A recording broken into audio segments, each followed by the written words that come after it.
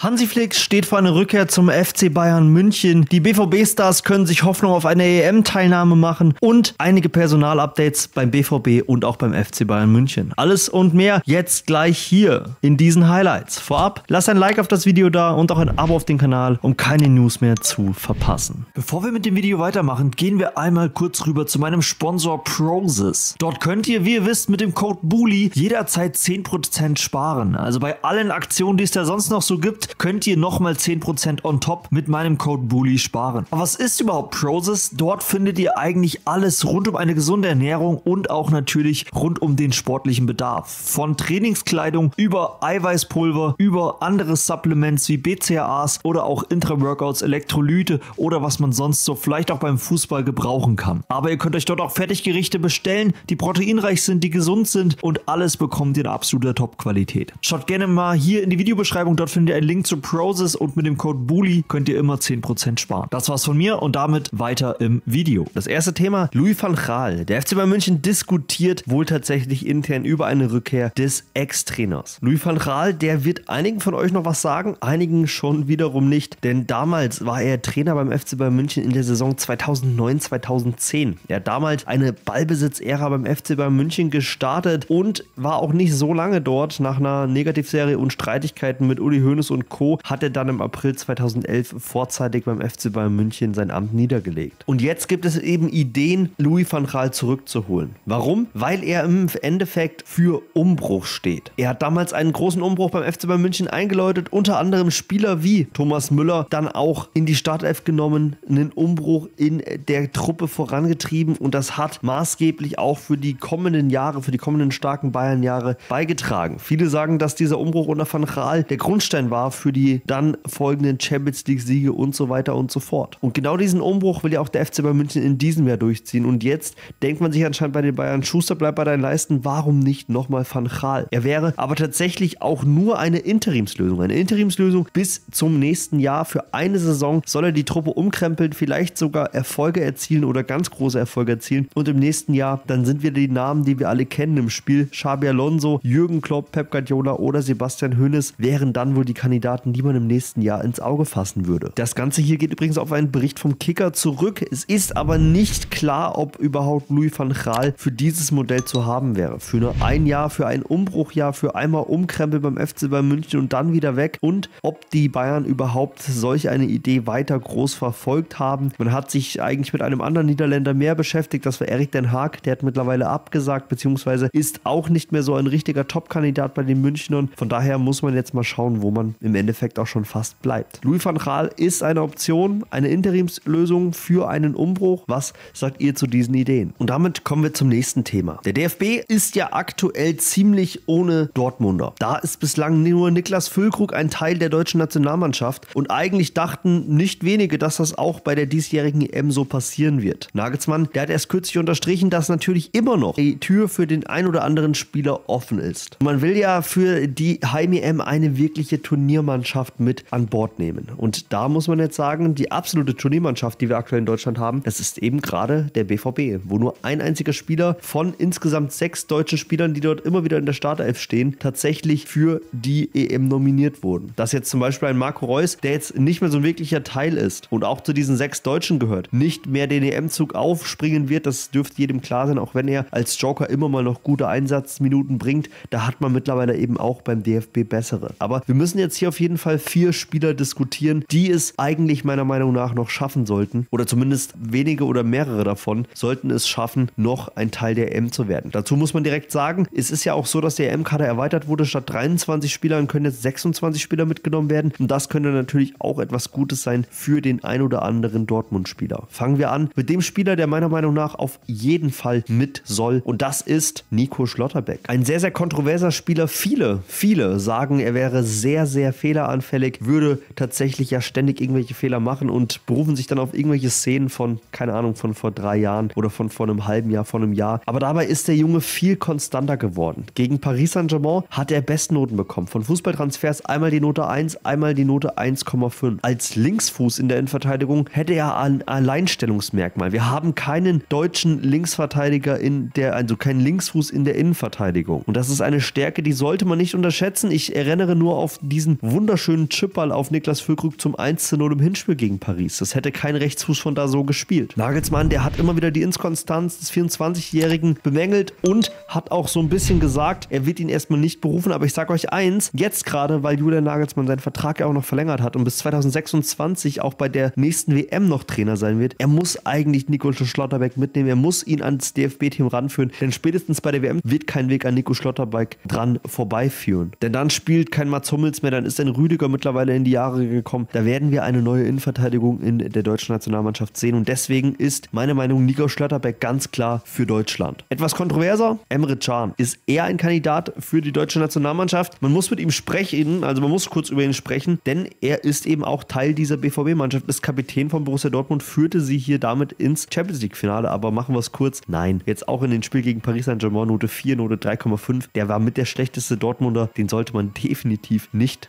mitnehmen. Ein Name, über den man aber mal sprechen darf, das ist Karim Adeyemi. Im März, da stand er nicht im EM-Kader und war auch, ja, er war so eine Art Härtefall, hat kaum gespielt, hatte viele Verletzungen, war absolut nicht in Form. Jetzt zeigt er wieder sehr, sehr gute Leistungen. Spielte sich, seitdem er jetzt mit, nach den ganzen Verletzungen zurückkommt, auf der linken Seite fest und entdeckte auch noch das Verteidigen für sich. Hat hier in den Spielen gegen Paris richtig sich reingekämpft. Und das ist natürlich eigentlich eine gute Voraussetzung für eine Bewerbung bei der EM. Zuletzt hat er sogar eine Einladung für der U21-Nationalmannschaft abgelehnt. Und deswegen glaube ich, wird das auch beim DFB eher kritisch gesehen. Man hätte ihn, das hat Julian Nagelsmann auch gesagt, gerne beim DFB gesehen, aber eben erstmal bei der U21. Das wollte er nicht. Er wollte sich da bei Dortmund wieder fit machen. Und ich glaube, deswegen ist die EM-Tür auch für ihn so ein bisschen zu. Andersrum ist die EM-Tür, glaube ich, sprangelweit offen für Mats Hummels. Mats Hummels, der Spieler der Spiele. Zweimal Man of the Match geworden gegen Paris Saint-Germain. Er zeigt absolute Weltklasse-Leistungen, lässt einem Niklas Süle, einem jungen Verteidiger, keine, wirklich gar keine Chance, dass er irgendwie sich hier bei Borussia Dortmund festspielen könnte. Die Erfahrung, die er mitbringt, die Ruhe, ein Weltmeister in den eigenen Truppen, das ist auch jemand, der von der Bank kommen kann. Das ist ein ganz, ganz großer Faktor, ein ganz, ganz großer Meinungsführer, ein Führungsspieler und ich würde Mats Hummels definitiv mitnehmen. Die Frage ist, ob Julian Nagelsmann das macht. Denn er hat ja gesagt, es geht auch darum, die richtigen Backups zu finden. Da sehe ich Mats nicht als optimale Besetzung. Das sagte er im März über Mats Hummels. Ja, Mats Hummels wäre vielleicht eigentlich eher ein Spieler, der nicht als Backup geeignet ist, sondern eher in die erste Elf gehören sollte. Da wird er sich aber wohl nicht reinspielen. Da hat man sich jetzt ein bisschen schon eingespielt bei der deutschen Nationalmannschaft. Tar und Rüdiger sind da halt eben gesetzt. Aber ich würde nicht auf so einen erfahrenen Mann wie Mats Hummels verzichten. Oder was meint ihr dazu? Was sagt ihr über Mats Hummels? Eure Meinung? Schreibt sie doch mal gerne in die Kommentare. Sollte er unbedingt mitgenommen werden? Gerne eure Meinung in die Kommentare. Da bin ich mal sehr gespannt drauf. Und ein Name, über den wir auch noch sprechen müssen: Julian Brandt. Ein Tor, drei Assists rammelt, sammelte Julian Brandt in der Champions League K.O.-Runde. Das ist natürlich ziemlich gut. Er spielt halt eben auf einer doofen Position, wenn man das mal so sieht, denn seine Konkurrenz, die ist immens. Jamal Musiala und Florian Wirtz, die sind gesetzt. Dahinter warten Chris Führig und Dennis Undarf. Außerdem wird wohl auch Thomas Müller dabei sein. Also es ist hier schon ziemlich viel auf dieser Position da, aber durch diese Erweiterung von 23 auf 26 Spieler könnte ich mir schon sehr gut vorstellen, dass man vielleicht noch einen Platz für Julian Brandt findet. Nicht in der ersten 11, nicht unter den ersten 13, 14, 15 Spielern, aber bestimmt unter den besten 20, die wir so in Deutschland haben, würde ich Julian Nagelsmann zumindest mal seine Namensvetter Julian Brandt empfehlen. Aber was sagt ihr? Wen von diesen Jungs vom BVB seht ihr in der Nationalmannschaft? Glaubt ihr, es kommt zu einer Art Massencomeback des BVBs im DFB-Team? Ich bin sehr gespannt auf eure Meinung und damit kommen wir zum letzten Thema des Videos. Marco Reus wird Borussia Dortmund verlassen und jetzt gibt es konkrete Gespräche mit einem Club. Spieler Marco Reus hat jetzt ja schon zwei Ziele schon mal ausgeklammert. Er wird nicht weiter in der Bundesliga spielen, das kommt für ihn nicht mehr in Frage. Da gehört sein Herz wohl nur noch Borussia Dortmund und damit ist eine Gladbach-Rückkehr absolut vom Tisch. Es hieß auch, dass er nicht nach Saudi-Arabien wechselt, also das waren zwei Optionen, die er schon mal definitiv ausgeschlossen hat. Marco Reus wollte das nicht machen und tatsächlich ist halt eben die MLS ein ganz, ganz großes Ziel für ihn. Und der Athletic berichtet es, Reus steht bereits in Kontakt mit einem konkreten neuen Arbeitgeber und das ist der MLS-Club St. Louis City. Es gab wohl erste Gespräche, der Prozess ist aber noch im sehr, sehr frühen Stadium und da kann er einen Ex-Teamkollegen treffen, nämlich Roman Bürki. Der spielt dort im Tor in der MLS und hat auch gesagt, er würde tatsächlich gerne Reus holen. Das Problem, was Bürki sieht, ja, sie haben jetzt nicht ewig viel Geld. Es ist kein Club, wo man mega viel Geld verdienen kann. Man ist hier, was die Gehaltswertung angeht, relativ weit unten und das könnte natürlich zum Problem werden, denn Marco Reus wird auch in der MLS ein hohes Gehalt verdienen, da bin ich mir ziemlich sicher. Trotzdem ist es ein Club,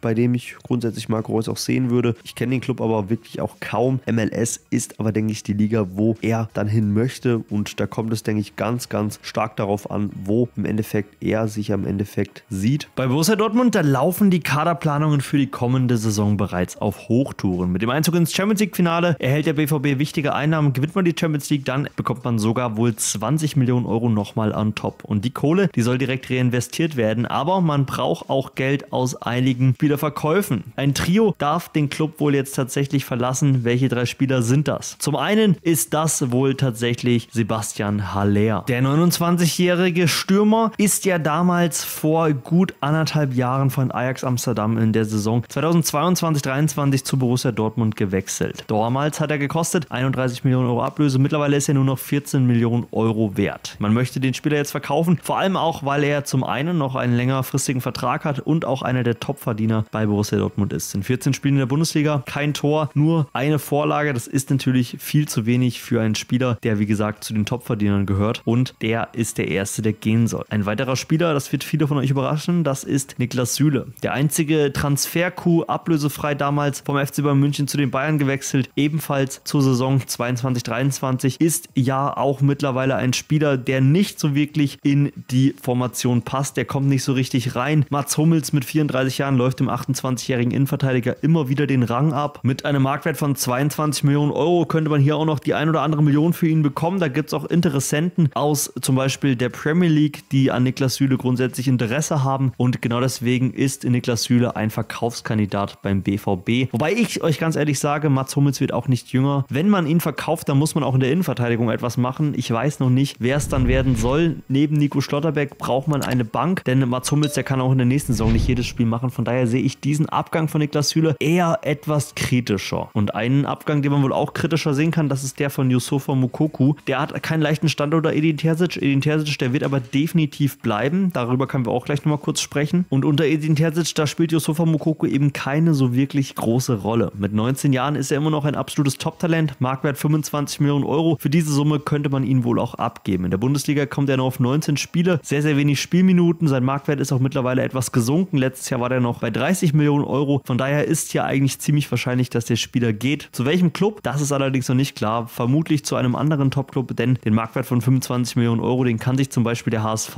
der ihn ja in Form des Trainers Steffen Baumgart gerne holen würde, sich definitiv nicht leisten. Auch ist hier eine Laie noch nicht komplett ausgeschlossen. Man könnte auch hier so eine Art ein Leihmodell fahren und dann ihn vielleicht im Winter oder in einem Jahr dann safe verkaufen. Und dann kommen wir nochmal kurz zu Edin Terzic. Der hat jetzt nämlich mittlerweile bestätigt bei einem Interview gestern auf der PK, dass es eben so ist, dass es im Hintergrund schon Gespräche gibt rund um eine Vertragsverlängerung. Er soll also definitiv bleiben und im Sommer kommt ein XXL-Umbruch. Die Einnahmen, die man jetzt schon in der Champions League-Saison hatte, das waren jetzt schon über 100 Millionen Euro und dementsprechend ist jetzt schon klar, 60 Millionen Euro hat man schon für Transfers in diesem Sommer bereitgestellt. Jetzt kommt der Finaleinzug nochmal dazu, plus vielleicht mögliche Preisgelder von einem Finalsieg. Also ich gehe mal stark davon aus, dass Borussia Dortmund ohne Verkäufe hier schon 80, 90 Millionen Euro für Transfers in diesem Sommer bereit ist auszugeben. Man hat auch schon zwei Spieler, in die man investieren will. Zum einen Ian Martin, zum anderen Jaden Sancho. Die werden auch einiges kosten, vermutlich zusammen 70 bis 80 Millionen Euro. Also das Geld wäre schon mal weg, plus eben die Verkäufe. Dann kann man vielleicht nochmal den einen oder anderen Spieler holen. Ein Spieler, den man da auch im Visier hat, das ist ja Chris Führig. Da gibt es jetzt auch ein Update. Der Poker rund um Chris Führig, der wird in diesem Sommer starten. Für den VfB Stuttgart dürfte Chris Führig wohl kaum zu halten sein. Er hat zwar noch einen bis 2028 datierten Kontrakt bei den Schwaben, aber es ist eine Ausstiegsklausel für diesen Sommer enthalten. Er darf den Verein für 23,5 Millionen Euro verlassen. Das ist eine Summe, die ist, würde ich sagen, vollkommen in Ordnung für einen Spieler wie Chris Führig. Wenn man sich überlegt, dass laut Transfermarkt.de sein Marktwert auch bei 25 Millionen Euro liegt, Tendenz natürlich ganz klar steigend. Der hat einen richtigen Sprung gemacht. Noch vor gut einem Jahr war der Marktwert bei 4 Millionen Euro. Also von daher ist hier das ein Spieler, der vielleicht in den zukünftigen Jahren zu den besten deutschen Flügelspielern gehören könnte. Nicht umsonst ist ja auch bei der diesjährigen EM definitiv Teil des Mannschaftskaders. Und da gab es ja diverse Interessen. Zum Beispiel der FC Bayern München. Sie wollten ihn haben. Auch Borussia Dortmund war an ihn dran. Auch Bayer Leverkusen, RB Leipzig haben ein Auge auf den schnellen Außenspieler geworfen. Und jetzt berichtet der Kicker darüber, es gibt wohl auch einige englische Spitzenclubs, wo Chris Führig ein Kandidat ist. Konkret ist das wohl der FC Chelsea. Ob solch ein Schritt für den Rechtsfuß ins Ausland in Frage kommt, das ist natürlich noch nicht so ganz klar. Stuttgart indessen, sie rechnen ganz ganz, ganz fest wohl mit einem Abgang von Chris Führig, suchen da auch schon nach einem möglichen Nachfolger. Die Frage ist natürlich jetzt einfach, wer die besten Chancen. Stand jetzt würde ich tatsächlich sagen, ist der FC Bayern München und Borussia Dortmund ein potenzielles Ziel für den Spieler. Bei Borussia Dortmund könnte er der Nachfolger von Marco Reus werden. Beim FC Bayern München hingegen könnte er eine ernsthafte Konkurrenz für beispielsweise einen Leroy Sané oder einen Kingsley Coman werden, weil er dann quasi vielleicht der Nachfolger von einem Serge Gnabry werden könnte, der ja auch mit einem Abgang in Verbindung gebracht wird. Der Poker von Chris Führig, rund um Chris Führig, der wird jetzt in den nächsten Wochen, Monaten so richtig starten. Ich behalte das natürlich im Auge und schreibe dann natürlich euch die neuesten Entwicklungen hier in die Kommentare. Und dann kommen wir doch gerade mal zu einem Bayern-Spieler, wo der Poker auch demnächst so richtig starten wird. Und das ist Alfonso Davis. Da hat jetzt auch Fabrizio Romano sich zu geäußert und die neuesten Updates rund um Alfonso Davis gegeben. Ich gebe euch jetzt erstmal ein kleines Update rund um die Worte, die er erstmal in Richtung Abgang gerichtet hat. Es hört sich nämlich an wie tatsächlich nach einem möglichen Abschiedswort. Er sagte nach der Niederlage im Bernabeu, mein Berater spricht gerade mit Bayern. Was auch immer passiert, ich bin dem FC Bayern München sehr dankbar. Und diese Worte, die klangen schon sehr, sehr stark nach Abschied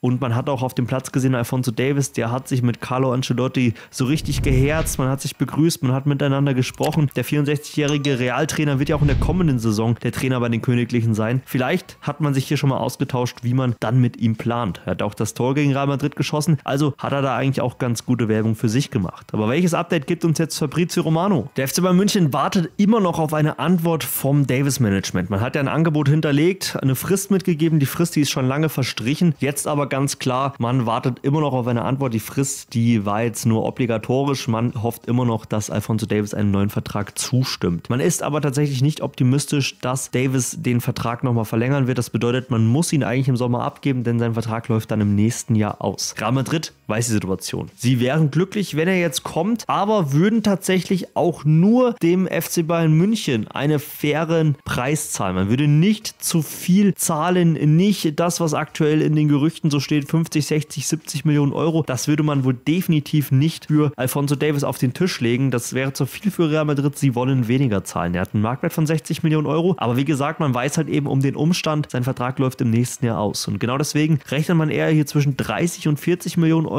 Dann wäre das für Real Madrid wohl tatsächlich eine Option, dass man einen Vorstoß im Sommer machen könnte. Ansonsten eben nicht, weil man ist eigentlich mit Volland Mondi, der aktuell auf der Linksverteidigerposition steht, ziemlich zufrieden. Aber natürlich weiß man auch um den Umstand, dass Davis gerne kommen würde. Also für 30, 40 Millionen Euro würde man ihn holen, für mehr allerdings nicht. So, da der Stand laut Fabrizio Romano, was sagt ihr dazu? Und dann kommen wir noch zu einem weiteren Thema. Gehen wir noch mal ganz kurz rüber zu Bayer Leverkusen, zu Florian Wirz. Der musste ja offensichtlich verletzt spielen, zuletzt im Europa League Halbfinale gegen Rom. Da kam in der 80. Minute rein und man hat ganz klar gesehen, er konnte nicht gut laufen, er ist gehumpelt, aber er wollte der Mannschaft helfen. Dort hat auch Xabi Alonso danach bei der Bild gesagt und gesagt, man ist da schon ein Risiko eingegangen. Florian Wirz ist verletzt, man musste ihn trotzdem auf den Platz stellen. Und da ist jetzt die Frage, wird er längerfristig ausfallen? Was ist mit der EM? Was ist mit den beiden so wichtigen Finalen, die jetzt hier tatsächlich von Bayer Leverkusen noch gespielt werden? Und da gab Alonso jetzt Entwarnung. Er wird wohl nicht gegen Bochum und gegen Augsburg in der Bundesliga auflaufen, aber er wird bei den beiden Finals gegen Atlanta Bergamo am 22. Mai und gegen den ersten FCK am 25. Mai definitiv mit von der Partie sein und damit dann auch Teil des EM-Kaders. Klasse Leistung von Mats Hummels in einem Spiel gegen Paris Saint-Germain mit 1 zu 0 hat man das gewonnen. Man ist ins Finale der Champions League eingezogen und dann ist jetzt die große Frage, der Held des Spiels, der Held des Hinspiels, der Held des Rückspiels, das war ganz klar Mats Hummels. Und jetzt ist die Frage, wie geht es für ihn weiter? Er hat sich jetzt dazu geäußert, hat sich auf einer Pressekonferenz zu Wort gemeldet und gesagt, ich habe schon früh gesagt, dass ich das sehr spät entscheiden möchte. Der Verein war damit einverstanden, das sagte der Spieler auf einer Pressekonferenz und die Bild, sie deutet jetzt das Ganze, es geht wohl tatsächlich eher in Richtung Trennung. Obwohl es jetzt ja mit diesem Einzug ins Champions League Finale einen riesen Erfolg gab, sieht es wohl so aus, dass Mats Hummels wohl tatsächlich den Vertrag bei Borussia Dortmund nicht verlängern wird. Die Entscheidung liegt ganz klar bei ihm. Er hat da letztendlich die Zügel in der Hand, aber ein Verbleib, der ist wohl jetzt doch unwahrscheinlicher geworden. Was ich mir persönlich gut vorstellen könnte, lasst mal Mats Hummels jetzt vielleicht mit Borussia Dortmund die Champions League gewinnen. Jetzt im, in einem einzigen Finalspiel ist alles möglich. Und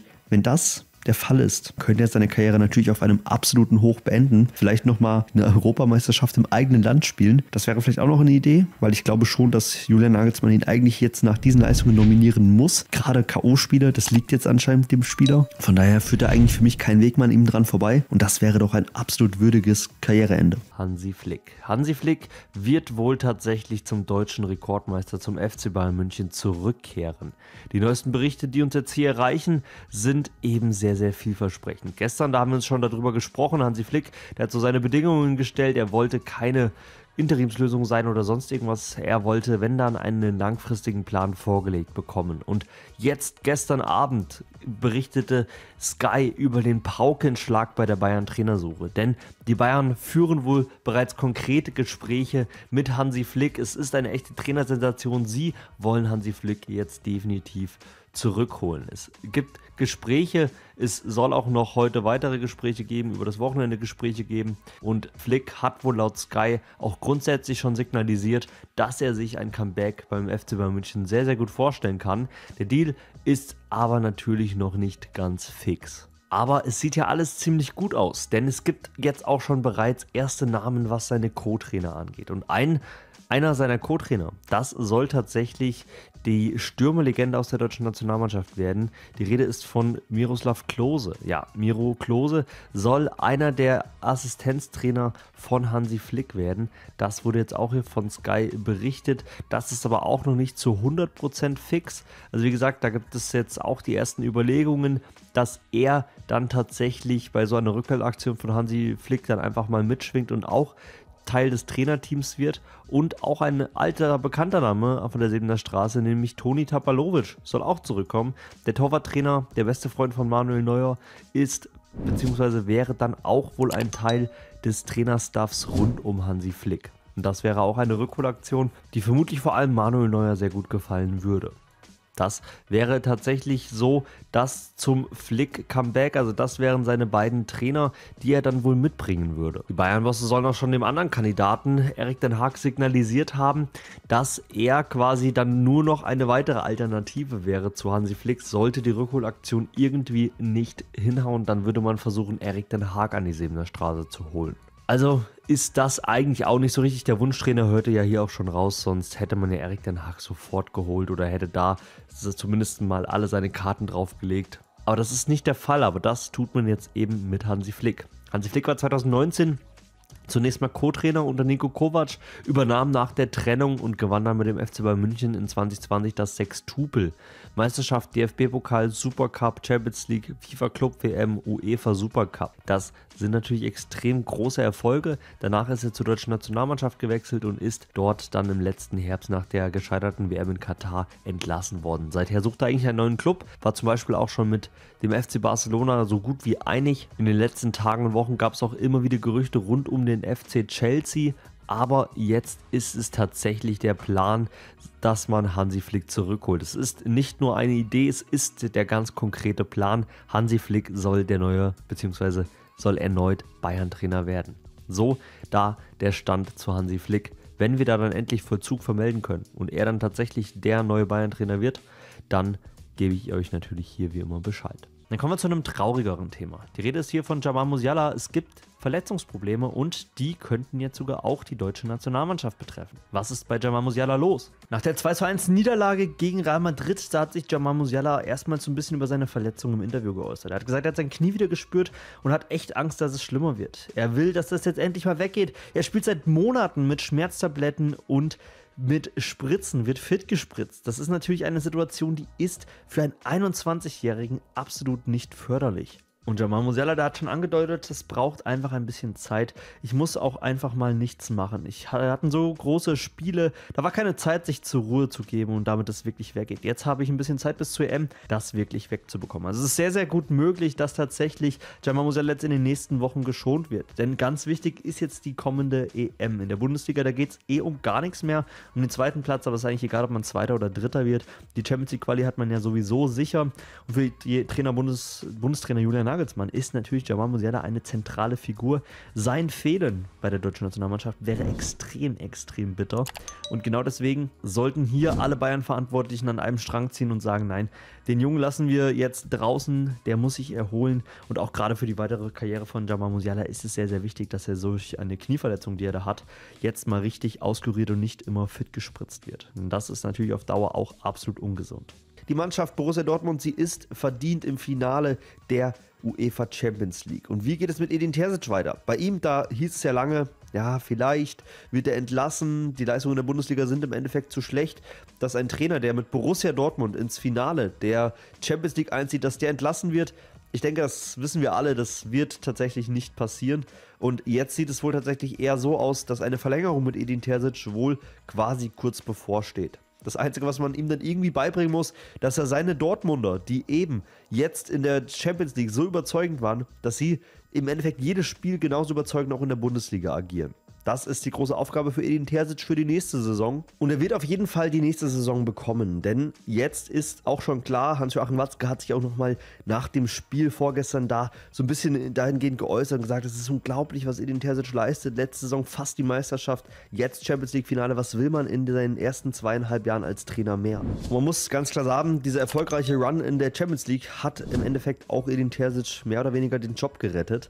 Und jetzt berichtet die Ruhrnachrichten eben darüber, es soll in der nächsten Hinrunde, also Anfang nächster Saison, dann auch schon Gespräche geben. Man würde wohl tatsächlich aktuell seitens der Bosse rund um Lars Ricken, Sebastian Kehl, Watzke und wie sie alle heißen, würde man wohl gerne den Vertrag mit dem Erfolgscoach verlängern. Man will da noch so ein bisschen abwarten, wie die, wie die nächste Saison so reinstartet. Aktuell ist er noch bis zum nächsten Sommer, also bis Sommer 2025 an Borussia Dortmund gebunden. Aber dass Edin Terzic schon mal irgendwo anders trainieren wird, das ist fast ausgeschlossen. Der Typ ist ein Dortmund-Fan durch und durch. Ihr kennt ja die Bilder aus der Süd. Ich will gar nicht damit anfangen. Und ja, ich habe ihn auch viel gehatet hier auf diesem Kanal. Ich kann mich nicht davon freimachen. Ich bin auch immer noch der Meinung, dass er vielleicht nicht der Weltklasse-Trainer ist, den man, den man braucht. Dass er taktisch jetzt vielleicht noch viel Luft nach oben hat. Aber ich kann mir auch vorstellen, dass er vielleicht hier bei Borussia Dortmund irgendwie etwas aufbauen kann, eine Mentalität in der Mannschaft schaffen kann, die eben langfristig dann auch große Erfolge bringen kann. Wie seht ihr es? Eure Meinung dazu gerne in die Kommentare. Und ein Spieler, der jetzt unter Edin Terzic auch so richtig aufblüht, das ist Jaden Sancho. Der ist ja sowieso ein Dortmunder durch und durch und er möchte jetzt auch sehr, sehr gerne bei Borussia Dortmund bleiben.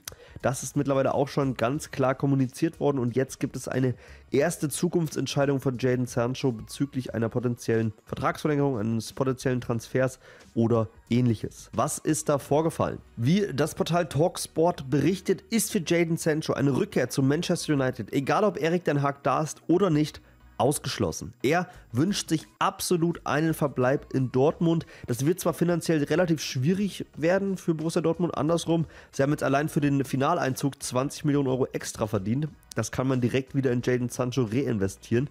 Aber man muss ganz klar sagen, er hat sich jetzt dafür entschieden, nein, United, das möchte er nicht mehr. Seine Phase dort, da hat nicht nur der Trainer ihn im Stich gelassen, vielleicht auch der ganze Staff, die Bosse im Hintergrund und so weiter und so fort. Er durfte ja nicht mal mehr bei der U21, glaube ich, mittrainieren, war eigentlich komplett freigestellt vom Training. Und genau deswegen ist eine Entscheidung diesbezüglich jetzt seitens Jaden Sancho gefallen. Nein, er möchte definitiv nicht wieder zurück zu United. Er möchte bei Borussia Dortmund bleiben, wäre auch bereit auf Gehalt zu verzichten, weil das muss er definitiv tun. Ich bin gespannt, ob Borussia Dortmund ihn halten kann. Was sagt ihr dazu? Eure Meinung gerne in die Kommentare. Das war's von mir. Bis dahin, Leute. Ciao.